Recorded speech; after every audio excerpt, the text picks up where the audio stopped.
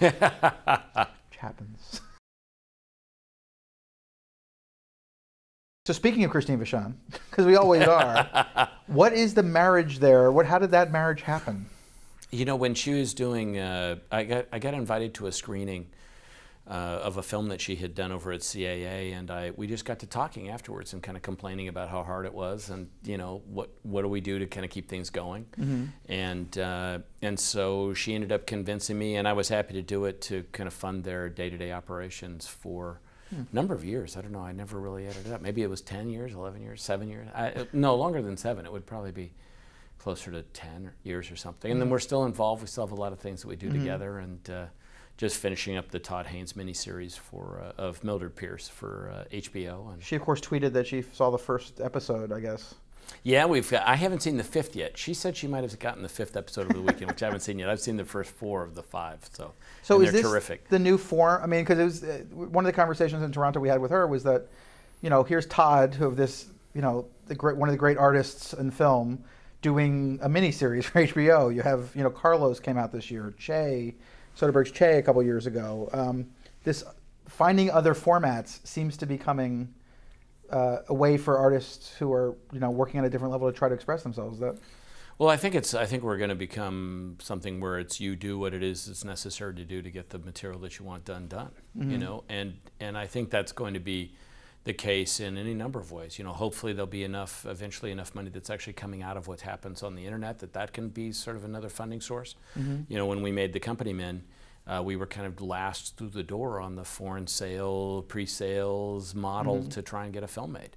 Um, we certainly couldn't do that now. In fact, I think two months after we actually put that all together, it would have been impossible to do. So, um, you know, so we're constantly talking. All of us, are, you know, who make uh, these kind of smaller films or uh, with wonderful filmmakers, are are constantly trying to talk about what do we do next, how do we find it next. But that's not new. I mean, there was a period 15 years ago when you were really just trying to raise a half million dollars and see if you could get some short ends from somebody to, to, shoot, to put into a camera on Saturday and Sunday. Um, you know, you wish, I certainly wish that there was greater support from it from the major studios. I, I always think it's a little short-sighted because the, the, it is an art form and that art form needs to be supported at all different kind of levels. You know, uh, it's great that you're using a wonderful filmmaker like Chris Nolan to make the, uh, you know, to make the uh, Batman Right. movies, but you became familiar with him because he and became and came to admire him because somebody funded those films that he made at the beginning of his So ironically, in a way, Min- uh, Inception is an art house film. It would have been done at a different level, obviously, if he had, didn't have two hundred million dollars to do it. But you know, he would have at some other point done that film for twenty million dollars, and it would have been not nearly as visually cool, but Oh, I think it might have been as movie. visual. I mean, uh, not May have to argue so. with how much it cost, but Yeah. but yeah, now with the technologies, he could have done a lot more than you would have thought. But That's true.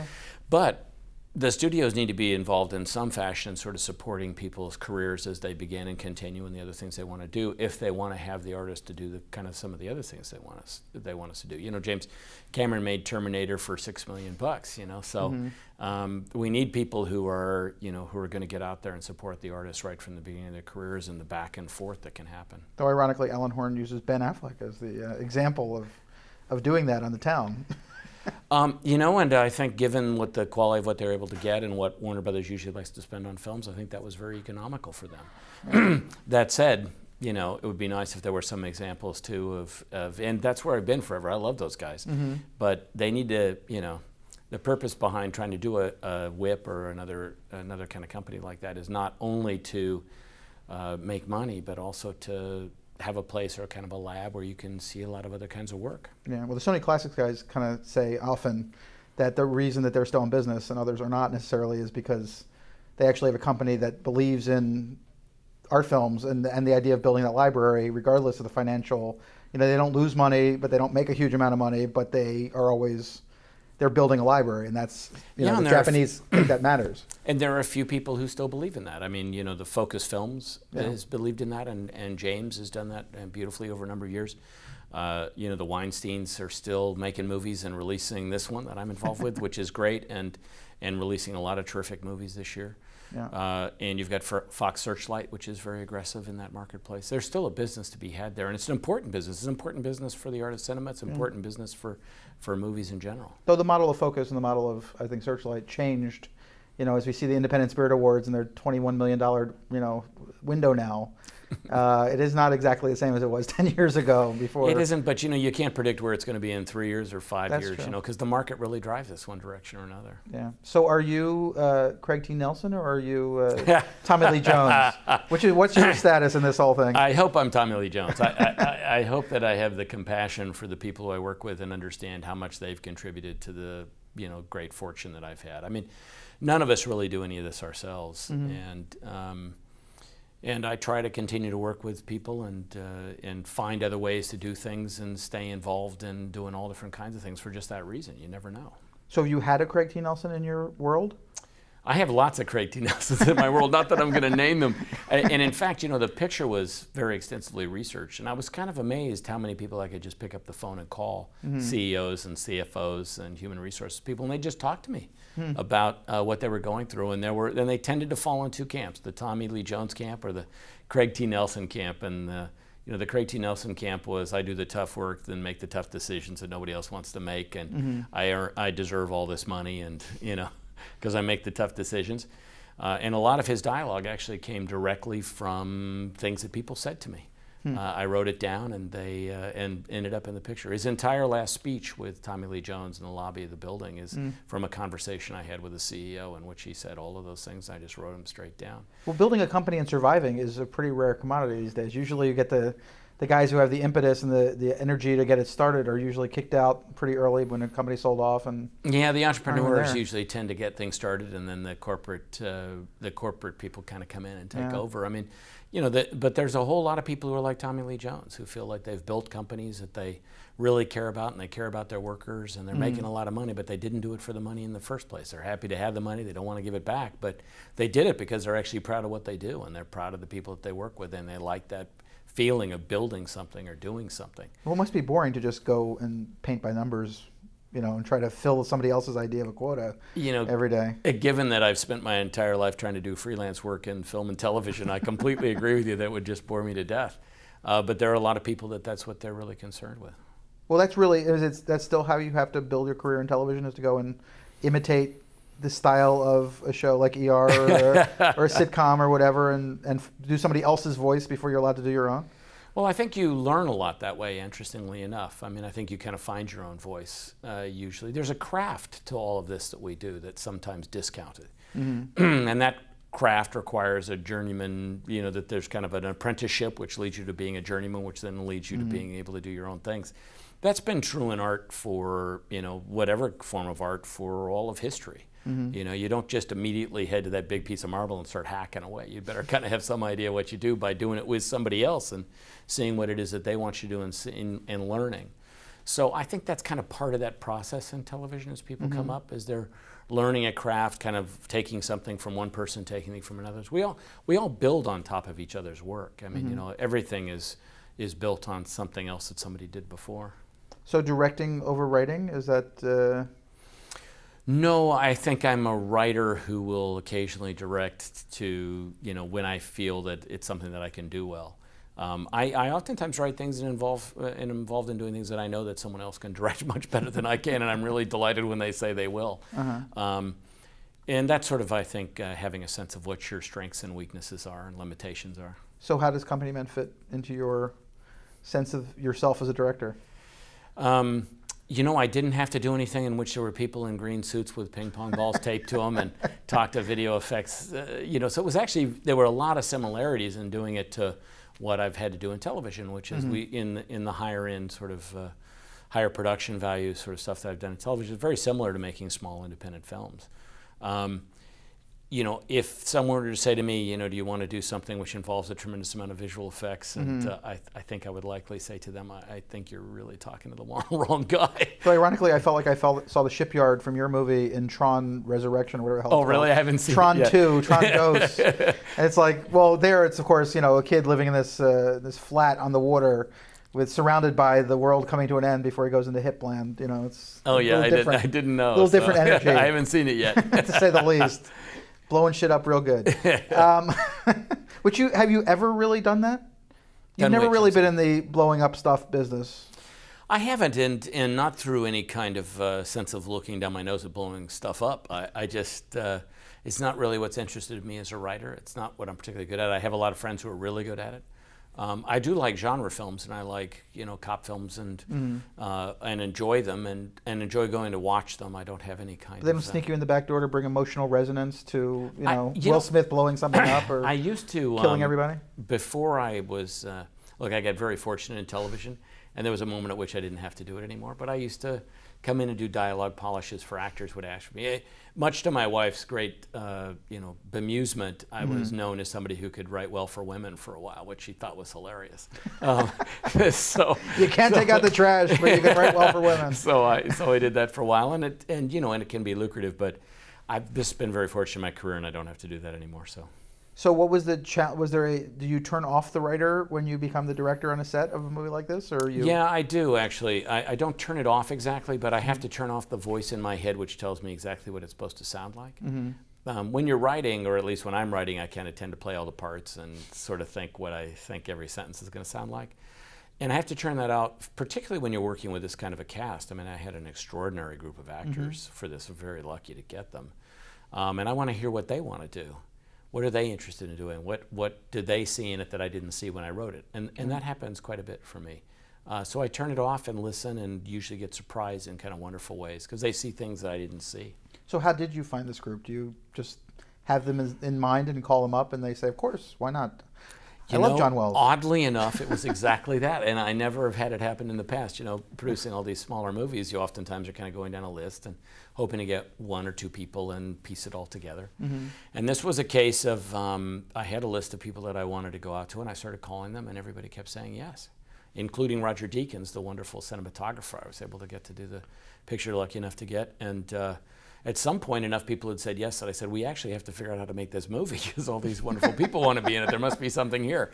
Um, yeah, nobody really smells of second choice. in this group. yeah, and and it uh, it was that way all along, including Kevin, which was really a remarkable thing. He read the script, uh, had, had his agent gave it to him, said, "Here's a good script. Maybe you want to work with this writer." And and he called up and said, uh, "You know, I I'll play this Jack guy if he doesn't have anybody to do it yet. I really like this piece. I want to be involved, and I really think I could play the hell out of it. Okay, but clear it up. Jack was never Maria's father, was she? No, you didn't have to change that because Kevin came on and wanted to. didn't have to. Okay, because I was just doing the you know the age difference. I have older siblings myself, so somehow like Kevin Maria, I don't know, she was stretching in her age. She's playing a little older. It was, that is kind of a, was kind of a shocking thing, and even the um, the fellow who plays um, the uh, who, who ends up coming to work with them from the uh, Oh, Eamon Walker. yes, Eamon Walker, who's a great great actor. He's a fabulous actor. I did. Uh, we made a wonderful movie that I'm very proud of with um, uh, a couple of years ago for Warner Brothers called Duma that he starred in, uh, and that Carroll Ballard directed. And the um, legendary Duma. yeah, Roger and, Ebert's still, you know, pushing hard for that movie. uh, and Ken and Kenny Turan, you know, and um, and he was in that, and then and so when we did the Africa ep- episodes in uh, ER, we brought him down to do those, and Mm-hmm. I just uh, called him up and said, "What you doing?" And he got on a plane and came. Um, you know, one of the things that starts to happen is you get a little bit of a snowball effect because once you have, you know, Ben Cooper has said he'll, uh, you know, that uh, Chris. Ke- Chris Yeah. Cooper and that Ben Affleck have said they'll do the movie, and Mm-hmm. and Tommy Lee Jones, then other actors say, "Well, I'll come around and see what what the hell they're doing." That And isn't Craig T. Nelson kind of the most underrated actor in Hollywood? Oh, Craig T. Nelson's a terrific actor. I mean, for an adult male, like the guys of that age, I mean, you think of Tommy Lee Jones, you think of a few others, but he's like really great. he's really great, and he's really good in the movie. And Yeah. and I wish I had recorded the arguments that he and Tommy Lee had about politics because they were priceless. That must have been worth the price of admission You know, they, they weren't arguments exactly. They Yeah. were they were spirited discussions. Followed by somebody not hitting the other one. Nobody hit Just anybody. barely. a few years ago, maybe that might have happened. Oh, God. So, what was the most challenging thing about actually making the movie for you? Um, interestingly enough, it was just a producerial problem, which is we were fortunate enough to get the whole cast together, but Mm-hmm. people were not available. It's not like I had everybody in a hotel room Right. for the entire 40 days of the shoot for the two months. So um, Kevin was able to do the movie, but he had a week that he could do at the beginning and a week that he could do at the end, which worked Right. out well for our seasons. Mm-hmm. Uh, Tommy Lee was only available for about 18 days of the 40 days. Um, Chris was only available for about 12. Maria was available for about 10. and when we actually did the kind of the schedule, there was Right. literally one schedule. uh, that would work to accommodate everybody. And so Hmm. every single day we had to make, and it didn't matter what was raining or what else was going on. We were shooting, and we were we were shooting what we were supposed to be shooting. So do you rewrite for that, or do you just? I didn't actually. There were a couple of things with Maria's character that I had to rewrite for that. You know, locations that we couldn't get to or things like that. But mostly it worked out. But it was a, it was a. There can be no, you know, you cannot stumble, or the or because people were just getting onto planes, they had to go to their next commitment. And But you're used to making your days. I'm used to making my days, but you know, we had a couple of days where we moved three times to three major sets, and you know, and then it rained on us in the middle of it. So it, uh, I was, uh, we had a great crew and you know, wonderful group of people doing it, but it was uh, Just to keep that was the humble. hardest. That was the hardest It's part. It God's was way of keeping you humble. Some days it was like we're getting this because Kevin's on a plane at uh, at eight o'clock. there is no choice. Roger at one point looked at me and said, "Isn't there anything else we could be doing other than shooting in this rain?" I said, "No, not really, Roger. We have to keep shooting." So when you get a guy like Deakins, who is you know revered to say the least, um, and will certainly be nominated for an Academy Award this year, whether for your film or for not. Dear, Uh, uh, dear God, he deserves it every year. yes, he does. He really does. Uh, is does it? How does that affect you as a relatively young director? Um, you know, you've only made a few films yourself. Uh, what is the? What does that bring to the table? Well, it, it brings not only his extraordinary talent, but uh, his experience. And so I leaned on him a lot and asked him a lot of questions and, and uh, took his advice very seriously all the time. Um, we, he was uh, insistent upon doing a lot of prep, which was great. Uh, we came and we had been to all the locations uh, num- numerous times, had a general idea of what we were going to do, which, given the difficulty of the schedule, allowed us to actually change things when we had to because we knew what we were doing from the beginning. Um, and then uh, the biggest adjustment, really, for me visually from television to screen was uh, I kept having a desire to go in closer. Uh, you know, and he would sort of, he's, he's a lovely man, and uh, I can't do his accent at all. It's sort of a, a wonderful, uh, at- somewhere over the Atlantic Ocean British accent for someone who's been in the United States for a long time. Um, but I would say, all right, so let's go in close. And I'd look over at Roger to go, it's just like that. No, that's not. And it's and, and then sometimes he would look absolutely pained and say, "Really, really, I'll, I'll shoot it, but you have to promise me you won't use it." and and in every single instance that we shot something that he said I didn't really need, we didn't need it, and we were able because uh, again, I I'm so used to trying to get in closer on the television screen to make certain that we have things, and then Well, we're I always call it first-time director syndrome because I do think I, I find with ev- even directors who are never done television or anything else, there there's that tendency to want to get that close up and get those eyes, and they forget that you know the two shot can be just as effective and uh, not look like cut, cut, cut, cut, cut. Yeah, and part of that too was that um, I was very concerned all along uh, because I'd gotten the note a lot all along that the Bobby character, that Ben's character, was unsympathetic, and so I was concerned about getting in close and making certain that we understood that there was more going on in some of these moments. Um, and Ben brought something to it from the beginning that he's very arrogant and you sort of want him to get his comeuppance, but he is sympathetic and you grow to have a great deal of concern for the character. And so I was overcompensating for wanting to mm-hmm. be sure I had enough in the editing room, which would allow me to make sure he was sympathetic by the end of the film. And, and his performance was terrific and, met, and made it so that I didn't really need to be that concerned about it. Well, you have to take that journey, isn't it? I mean, that the movie is that journey for that, that half of the movie, I guess. It feels like the old guys and young guys are on two slightly different movies, but um, you know Well, that. they, are in different movies because they're in very different trajectories about Yeah. what happens to them. Yeah. So I mean, he but he has to make that move, and I think in some ways by having you know the wives in some of the other cases, you see the reflection, you know, as he walks into the house and the two giant Christmas trees and everything's all built up, that the world, you know, they don't realize the world has stopped for anybody else, and it's an important transition. Yeah, and the, and I did, as I said, I think before, I did a lot of research for the piece, and that was one of the constants that I heard from the wives was that uh, the men seemed to think that their identities were gone and that our lives were going to stop, and their identities to us weren't gone. You know, that's not why we loved them or cared about them in the first place or wanted them in our families, and and um, they seem to think that everything was stopped and everything the world does continue everything's going on. And, and i think that's a large part of kind of what we're trying to hit in the film about what is hopeful about it. And, and there's sort of a resiliency in the american spirit in the way in which we go up, go against uh, you know go up against the obstacles that we have in our lives. How are we going to actually respond?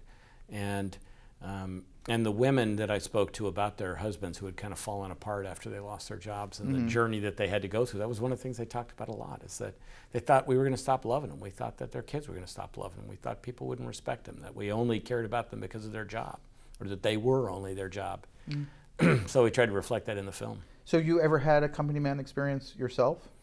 Oh yeah, well, if you're going to be a screenwriter and or a writer in, in Hollywood, you're going to get fired all the time, and uh, huh. and sometimes by close personal friends. so yeah, certainly.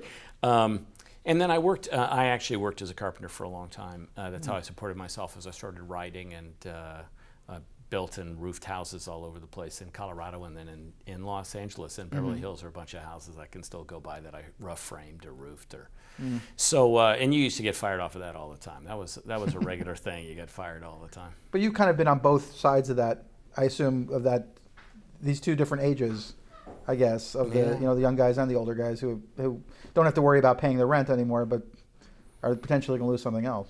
Yeah, there are lots of different things that you can lose, and and and certainly the most immediate and most dramatic in many ways is that sort of sense of of uh, not being able to pay your rent or not being able to pay your mortgage. Those not to minimize that in any yeah. in any way, shape, or form.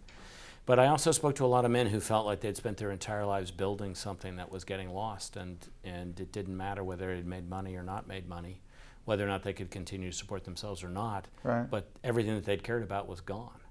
Uh, you know, I had a guy who pulled out, uh, who had started and made a tremendous amount of money, and he pulled out a photo of all of the various softball teams that they had all the years, mm-hmm.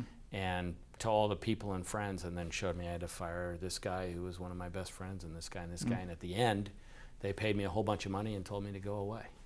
Mm. And now I drive by the place that I built. I built it. I designed everything. I supervised the planting of every tree. I mm. built everything that ever came out of there and made sure that I was, you know, that it was as good as I expected it to be.